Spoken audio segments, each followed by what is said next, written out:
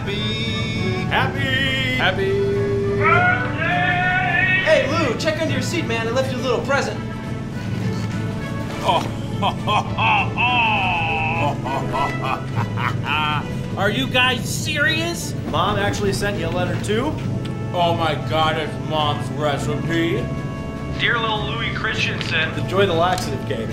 but really, Louis, we love you so much. Pray for your safety every day. It's hard to believe you and your brother have been gone for four years. Seems like forever. I'm glad the war is gonna be over soon, hon. Stay strong and be safe. Happy birthday. Love, Mom. HQ to Preddy, do you copy? HQ, flying on Fumes, but we're almost home. Captain, there's been a change of plans.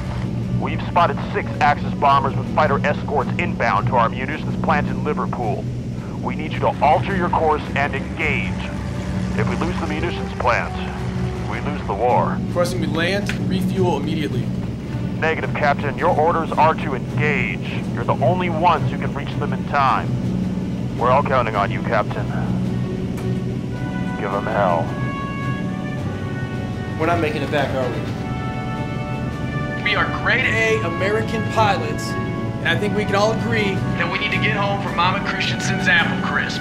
Now let's go fucking do this.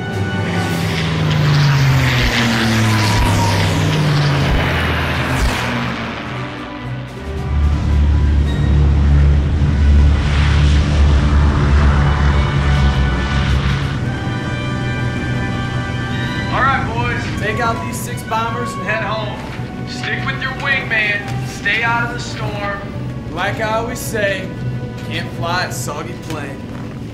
Let's do it.